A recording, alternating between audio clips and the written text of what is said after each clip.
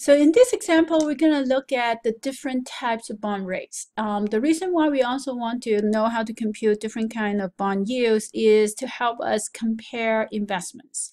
So investments oftentimes are stated as returns rather than um, in dollar amount. So we want we want to be able to compare investment regardless of how the information is presented to us, whether or not uh, the information is presented as um, the price of the bond today or whether the investment the information is presented as uh, yield to maturity.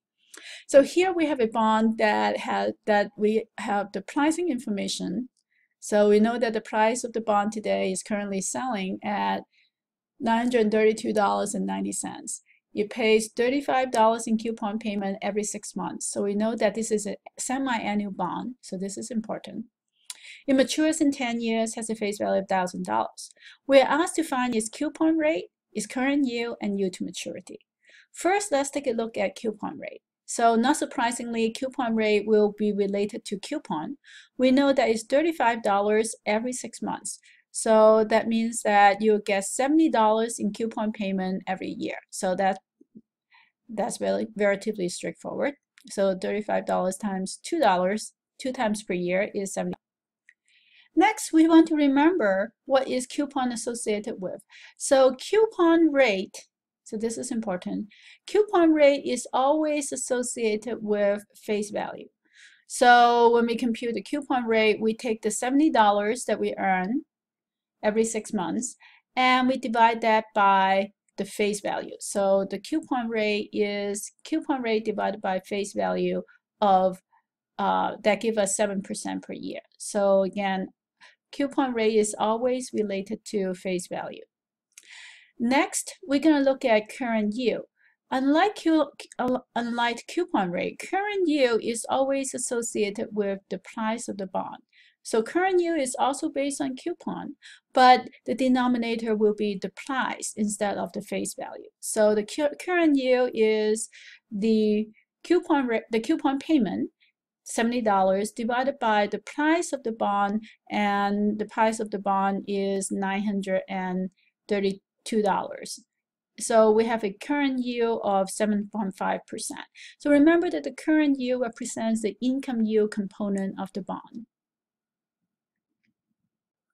Lastly, we're going to compute the yield to maturity. The yield to maturity is um, the discount rate, remember. So we are trying to find the discount rate that we'll use to find this price.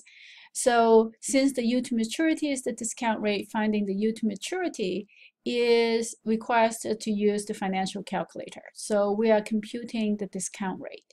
Now first let's look at all the other information. We know that the coupon payment is $35. So $35 is the annuity coupon payment. The face value and maturity day is $1,000. This bond has 10 years left to maturity, but is a semi-annual bond. So we have 10 paid twice per year. So our N is 20. Lastly, we have the price of the bond. The price of the bond is $932.90, but we want to make sure that we enter that as an outflow. So we pay for the bond today, and in exchange, we'll receive the coupon payment and the face value. So both the so the present value, the price of the bond is entered as an outflow. Both the coupon payment and the future value is entered as an inflow. As I said, we need a financial calculator to solve this problem. First, let us clear our financial register. So clear TVM. We have $35 is our coupon payment. So that's payment. $1,000 is our future value. Uh, 20 times, so 20 is our maturity. And then we need to enter this as an outflow. So we first type in $932.90 and we'll change the sign to a negative sign and that becomes our present value we are computing the interest rate. So we'll compute I. So I is 3.99%, but remember this is every six months. So that's 3.99% every six months. So to find the yield to maturity, we need to multiply that by 2. So on a per year basis, it's 7.9869% per year. So uh, our yield to maturity is about 7.99%. Now you know how to compute the different bond rates and also the yield to maturity associated with a bond. I want to talk a little bit more about yield to maturity. Yield to maturity is, a, is an important concept because yield to maturity represents the return that you can expect to get if you pay $932.90 for this bond and receive all the promised payments. So you'll receive 20 payments of $35 each and a $1,000 maturity. If that happens, then your return over the entire 10 years, the 20 payment, is going to be 7.99%. And that is why it's called yield to maturity. Now, if you sell the bond before it matures, or if the company defaults and fail to pay to fulfill all its obligation, you will not earn 7.99%. You'll earn something different.